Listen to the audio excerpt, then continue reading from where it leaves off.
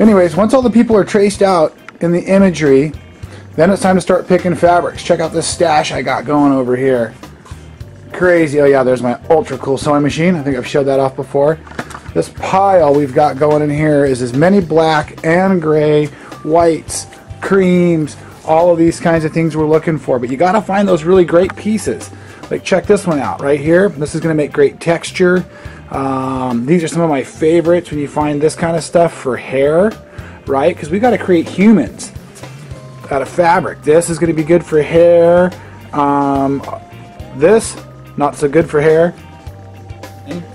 I'm going to choose, like, let's say for the mom here, I'm going to take and pick like maybe five, six, seven different pieces of fabric for her. And I'll try to keep those exclusive, um, three or four to her, and I'll share those with others. That way we get the value.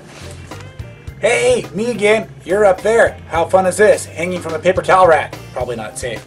Anyways, this step, what we're going to do now is we're going to take and build with our fusible web. And yes, of course, it's heat and bond light, super light heat and bond. Love this stuff. Anyways, I'm going to lay this over here, and believe it or not, I'm going to try to find a good spot where I can trace and see the pieces of her face. Okay, I'm back. All the lights are out except for the light table light. You can see the difference here now. I still have the fusible web right on top, but I can still see all of my tracings. At this point, what I'm going to do is I'm going to find those lines I've created and just give you one big outline of the shape I choose to use. I like to start with the person's hair. It gives me a nice place to lay out. Um, and I'm also going to make like a big round or oval shape for the face. That will be the big background color. It makes it much easier that way to have um, all the little highlight pieces lay on top. That way the background color just shows through like I do with my animal quilts.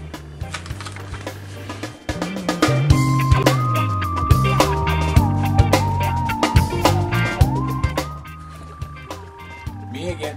Okay, so once we hit this phase here, you can see that I just kind of take it one piece at a time. I just trace a couple of the different images as I go.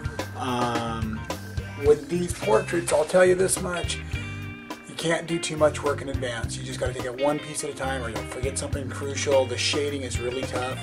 So it's not something you can fly through. This is one of those take it slow, enjoy the process style quilts. After this, I'll cut out the individual pieces, iron under the fabric, show you a bit of that, and then I'll start cutting them out and layering. This is definitely not a quick task, but certainly a great one.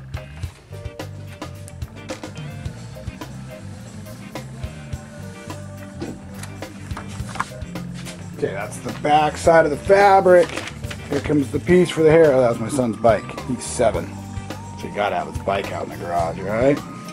Position it so we're not wasting any real fabric there. And away we go.